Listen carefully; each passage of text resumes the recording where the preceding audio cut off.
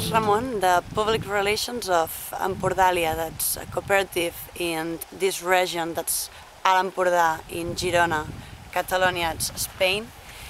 And uh, I, I, I'm talking about the, the varieties we have here, also the soil um, we have, and a little bit the weather that's uh, that's uh, a very sunny place, uh, easy to, to plant varieties like Cabernet Sauvignon, also uh, Merlot, uh, Grenache, uh, Syrah, and also the soil, it's, uh, as you can see, with iron, iron in the soil, the terroir typical is the slate and granite also. The tradition here was uh, to sell the wine by liters, not in bottles.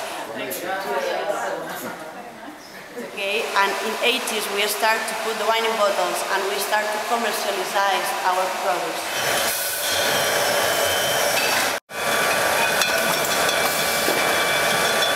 So now we are a young um, marketing winemakers, you know, it's uh, very new for us to have tourism, to export, and all of these things. No?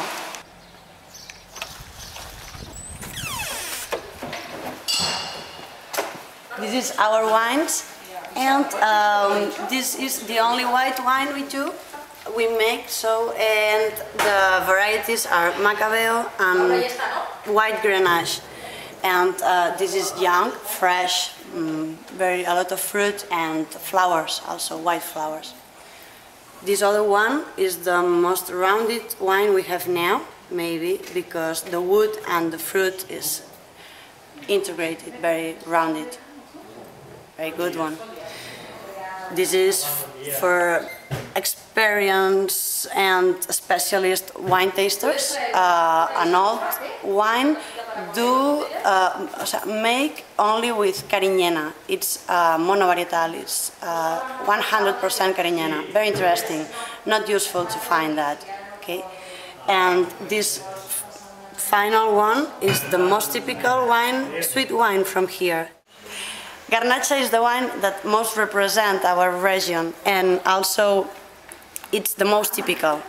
Uh, this is made uh, only with a single variety, that's red Grenache, and uh, it's a sweet natural wine uh, that we put in soleras. Soleras it's barrels, old barrels, to make it all.